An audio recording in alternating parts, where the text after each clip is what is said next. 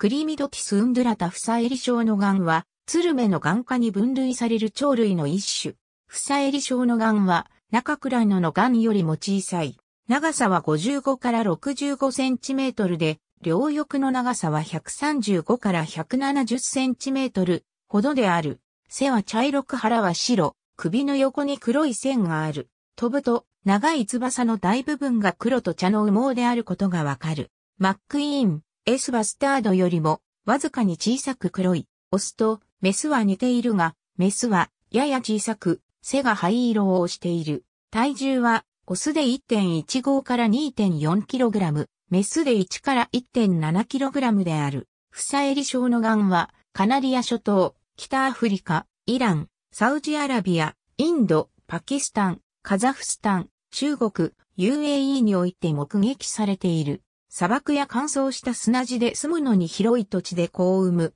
タノの癌と同じように、この種も頭の白い羽毛と喉を起こし頭を引く、燃えるような求愛方法を持っている。2から4つの卵は地面に置かれる。ほとんど泣くことはない。雑食で種や昆虫、他の小さな生き物を食べる。アラビアでは、不採理症の癌は、鷹状に獲物として広く重宝されている。特にその肉は、美薬や利尿剤として用いられた。広まる狩猟と生息地の減少は著しく、総数を減らした。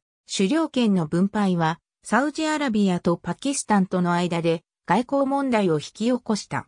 代表的な保存活動計画は、モロッコのアガディールとパキスタンのラヒムヤルカーンに置かれている。国際的な保護と野生生物の繁栄を目指した基金は、サルタン、 Crown Prince of Saudi Arabia により設立された。この計画は、フサエリショウノガンの人工授精を使い、子供は野生に放たれる。似たような計画がドバイとアブダビの王室の保護のもと、UAE で進行中である。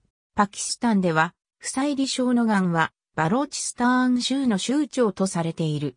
鷹城はパキスタンでは安全地帯がなくなったために、ほとんど見ることがなくなったというが、フサエリ症の癌は2011から2012年の間にも25の狩猟許可証が発行されており、毎年狩猟は続いている。許可証を持っていれば100羽までの狩猟が許されている。それらの許可証のほとんどは、王族や支配者、勢力を持つ平民に、アブダビやカタール、バーレーン、ドバイ、サウジアラビアなどのアラブ諸国から発行されている。